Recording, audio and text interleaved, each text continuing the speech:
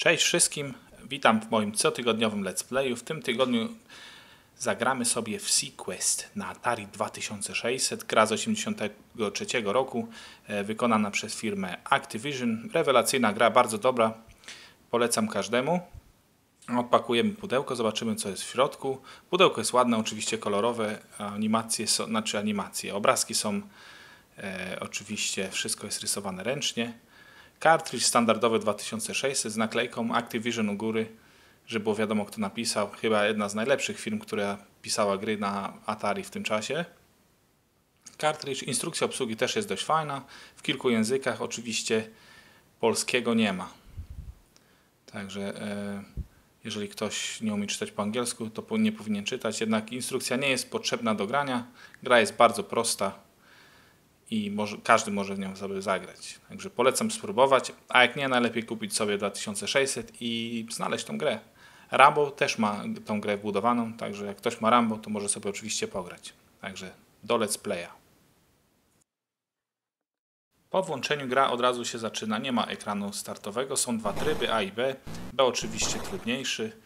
I zadaniem gry, zadanie gry jest bardzo proste. E, musimy zebrać 6 nurków i wynurzyć się na powierzchnię. Wtedy dostajemy bonus, tlen z powrotem i zaczynamy następny, trudniejszy level.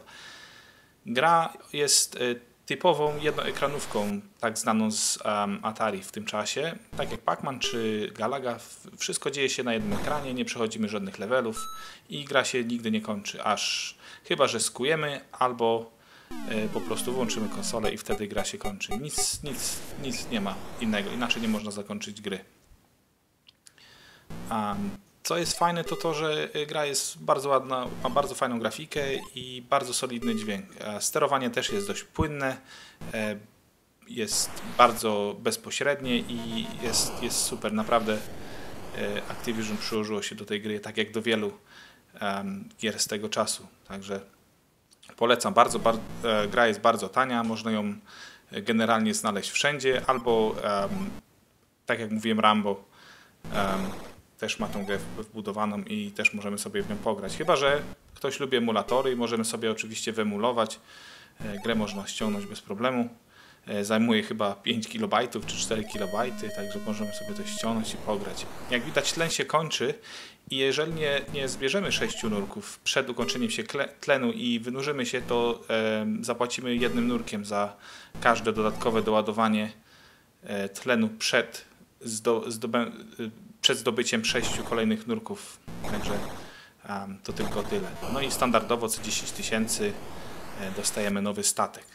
Także to był SSG i dziękuję za uwagę i do zobaczenia w następnym wideo.